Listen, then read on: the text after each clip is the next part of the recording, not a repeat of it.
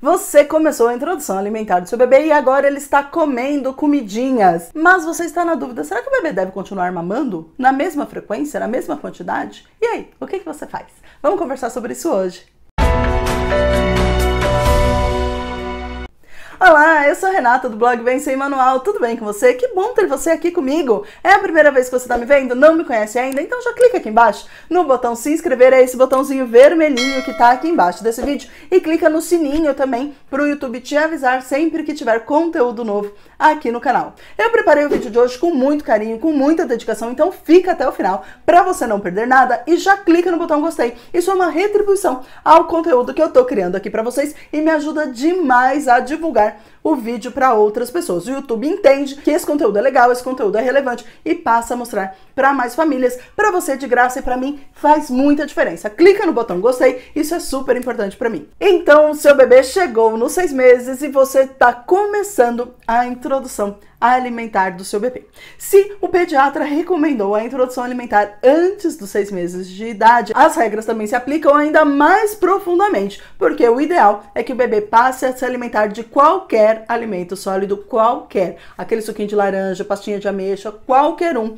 a partir dos seis meses de idade. O ideal é que até seis meses completos o bebê se alimente exclusivamente de leite materno ou, se não for possível, de fórmula. E por que com seis meses? Porque a idade em que o bebê está pronto para começar a se alimentar e é a idade em que o sistema imunológico do seu bebê está em franco desenvolvimento. Então você vai reduzir um pouco as chances de alergia alimentar. Eu tenho dois vídeos aqui no canal, um sobre sinais de prontidão para a introdução alimentar, para você avaliar se o seu bebê está prontinho para passar a se alimentar, e um outro sobre essa janela imunológica que eu acabei de falar. Tô deixando aqui em cima nos cards desse vídeo e também aqui embaixo na descrição desse vídeo para você assistir logo depois que você terminar esse daqui. Nós consideramos que nos três primeiros meses da introdução alimentar nós estamos num processo de experimentação de provar novos alimentos, de provar novas texturas, de provar sabores salgado, doce, amargo, azedo. E por isso é muito, muito, muito comum que o bebê neste período coma muito pouquinho. Ele vai provar, ele vai testar, é tudo, tudo, tudo novidade. Ele nunca provou esses sabores, ele nunca provou essas texturas,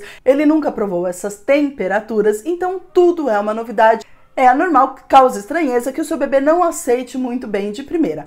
Por isso, o leite continua sendo o principal alimento do seu bebê, mesmo durante o processo de introdução alimentar. Você fez a papinha, fez a frutinha, amassou a frutinha, deu para o seu bebê, você colocou na boca, ele jogou para fora, colocou na boca, ele jogou para fora.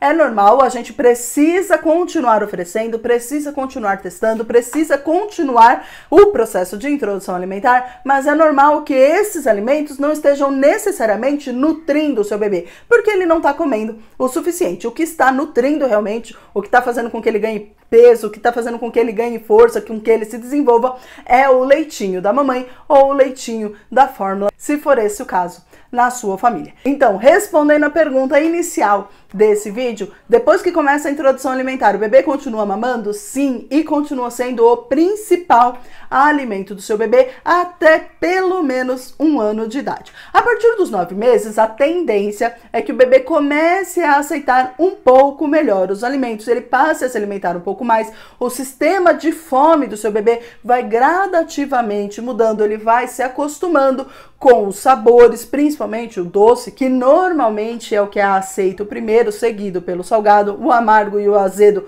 costumam demorar um pouquinho mais para serem aceitos.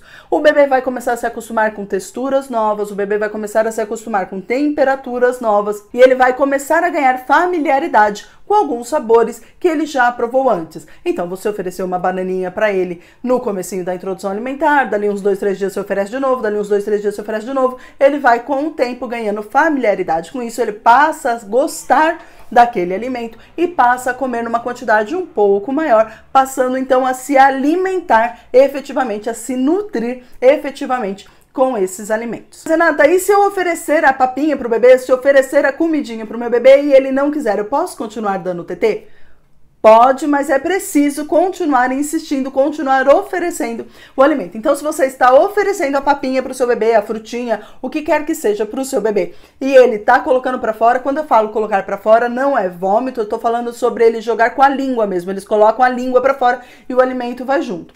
Continue insistindo devagarzinho, com paciência, uma dose extra de amor, uma dose extra de dedicação para o seu bebê comer pelo menos um pouquinho. Não vai deixar o bebê com fome, é claro que não. Ele não come mesmo, ele não tá comendo, ofereça o peito, alimente o seu bebê. Dali a pouquinho você oferece de novo o alimento para o seu bebê. Oferece de uma outra forma, oferece numa nova composição. Então você testou um ovinho em formato de omeletinho, tenta um ovo cozido, tenta um ovinho mexido, tenta um ovinho em pedaço. Muda a forma, muda o jeito de oferecer até você encontrar uma que o seu bebê aceite. Muitas crianças, em especial as mais velhas, aqui a gente fala mais de bebê, né? Mas quando a gente fala das crianças mais velhas, muitas acabam recusando o alimento mais pela textura do que necessariamente pelo sabor. Isso é comum, acontece bastante. Então é importante você variar as formas de apresentação dos alimentos para o seu bebê já desde bem pequenininho. Além das formas de apresentação e do fato de tudo ser novidade, um dos pontos que acaba causando recusa alimentar no seu bebê é porque nem sempre nós mães estamos preparadas para fazer uma papinha, para preparar uma papinha saborosa, gostosa, que seja nutricionalmente equilibrada e que também seja gostosa. Ainda mais se considerarmos que o ideal é que o bebê não consuma sal até pelo menos um ano de idade. Aí a gente tem que ser muito, muito, muito criativa para preparar alimentos gostosos, saborosos e sem sal, usando somente outros temperos. Por isso que ter um livrinho de receita de papinhas de bebê é super importante, ajuda muito, muito, muito na hora de você fazer as suas compras no supermercado e na hora de você cozinhar os alimentos do seu bebê, independente do método de introdução alimentar que você decidir usar na sua casa. Eu tô deixando aqui embaixo na descrição desse vídeo o link de um livro de receitas de papinhas de bebê que eu gosto bastante, tiro muitas ideias muito legais desse livrinho e ele é super baratinho, vale super a pena. Clica aqui embaixo no primeiro link da descrição desse vídeo para você conferir.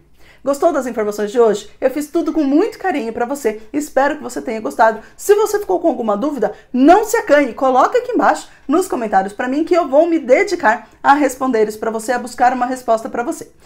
Já curtiu o vídeo? Se não curtiu ainda, esse é o seu momento. Clica no botão joinha, isso é super importante para mim, me ajuda demais e também pode compartilhar esse vídeo com outras mães que podem se beneficiar dessa informação, assim como você se beneficiou agora. Bem, eu vou ficando por aqui. Tchau, tchau. Fica com Deus e até o nosso próximo vídeo.